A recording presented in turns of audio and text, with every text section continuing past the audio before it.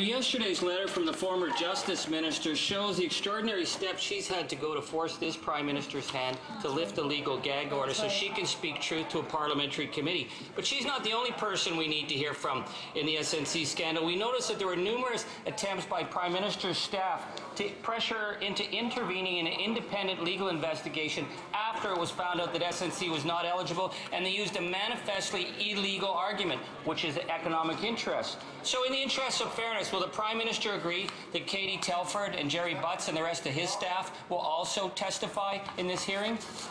Will Government House Leader.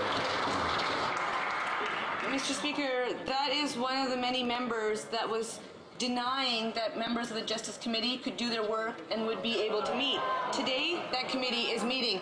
That member, his party, as well as the Conservatives, they said the Justice Committee will not be calling for witnesses. Mr. Speaker, witnesses are appearing, they're answering questions.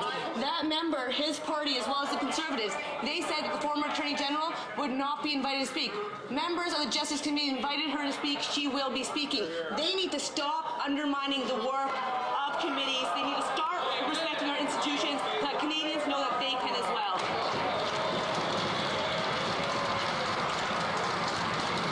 Honourable Member for Timmins, James Bay. Order. Oh, she's not going to get her honorary set of gold SNC cufflinks with excuses like that because we're talking about the illegal interventions by the Prime Minister's office. So let's just set this as Prime Minister and the clerk met with the former Justice Minister September 17th. She said no. A PMO official met her December 5th. She said no. PMO staff met with her staff December 18th.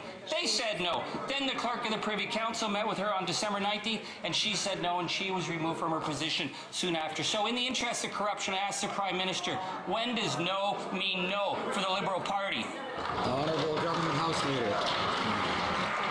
Mr. Speaker, once again, let's look at the record. The Director of Public Prosecution Service confirmed that prosecutors in every case exercise their discretion independently and free from any political or partisan consideration.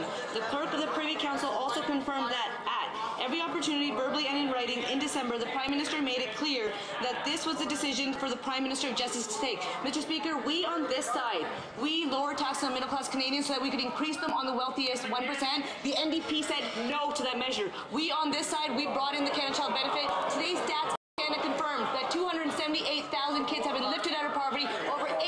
the pain, the ending.